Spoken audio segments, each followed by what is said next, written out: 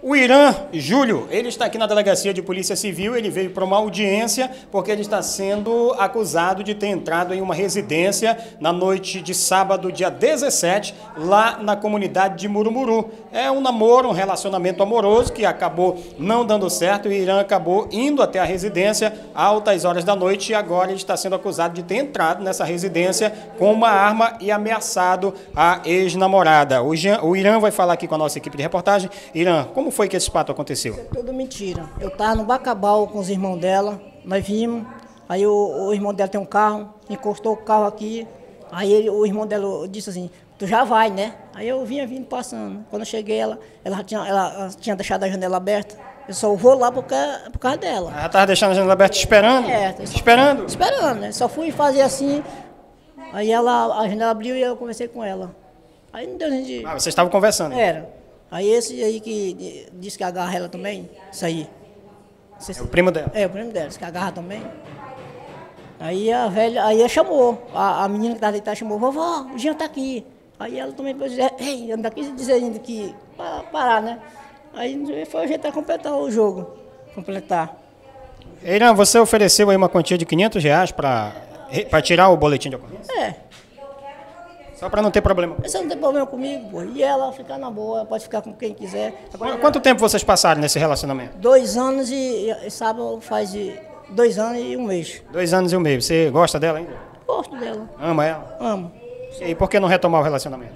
Por causa da mãe dela. Depende dela, né? Ah, você, a briga toda então é devido à sua sogra? É.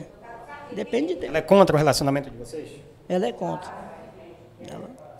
Assim que a gente começamos, assim que a gente começamos, ela ajeitava a velha, era bacana. Eu trabalhava demais, eu torrava massa para ela, fazia arrancar mandioca, tudo eu fazia. Aí quando ela desconfiou que eu estava agarrando, aí virou. Mudou a coisa. Mudou as coisas. Ficou brava. Aí depois Não quer de jeito nenhum. É, a velha não quer, mas a gente agarra, fica no meio do mato, por lá. Mesmo escondido, escondido é mais gostoso, né? É, mais escondido é gostoso.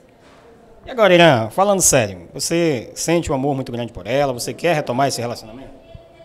Você quer continuar namorando com ela? Casar, ter filhos, construir família? É, mas aí a, depende dela.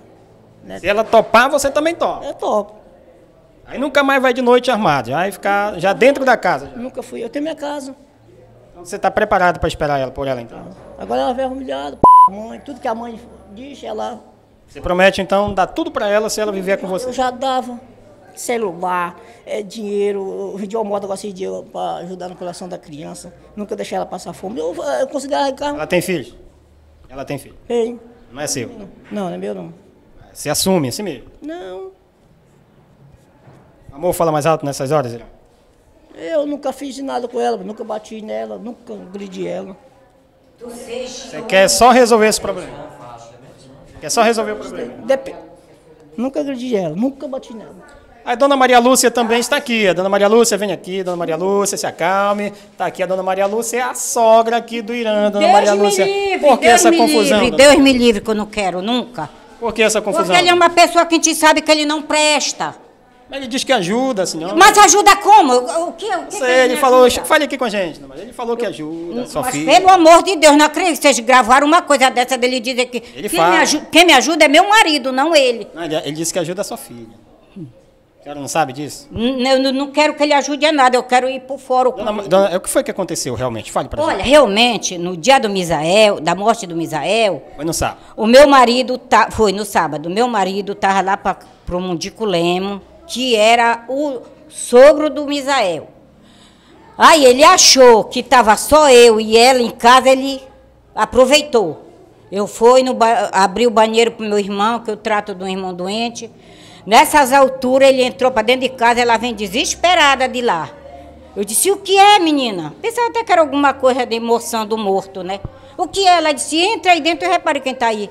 Quando, era ele. Eu deparei com ele, era 11 horas da noite, quando ele entrou lá em casa. E ele estava armado. Quando ele conseguiu pular a janela, eu vi que ele estava armado. Ele ofereceu dinheiro para você retirar o boletim de ocorrência? Mim, não, e nem que ele oferecesse. Ela vai proceder? Quero, quero ir para frente. Ele diz que ama sua filha. Ele vai amar, eu sei como. Diz que quer, inclusive, construir família com ela. Quer. Eu sei. A senhora não deixa de forma alguma. Pergunte pra ele por que a mulher dele largou ele. Já teve outra mulher? Já assim, ho- e hoje em dia os filhos dele vivem todo espalhado, que ela deixou com ele, ele agarrou, deu tudo os filhos. Andam todos espalhados as crianças. Por isso que a senhora não quer. então. Mas não quero mesmo. Eu quero é a distância, eu vou lá no fórum que eu quero é a distância dele. Tá certo. O caso aqui na Delegacia de Polícia Civil vai ser resolvido, vai ser encaminhado para o fórum. O, o Irã diz que ama, já que a sogra diz que não quer nem papo, não quer nem ver ele passando perto da filha. O caso aconteceu na comunidade de Murumuru e já chegou aqui na Delegacia de Polícia Civil, vai ter audiência agora, certamente vai ser encaminhado para o Fórum de Justiça.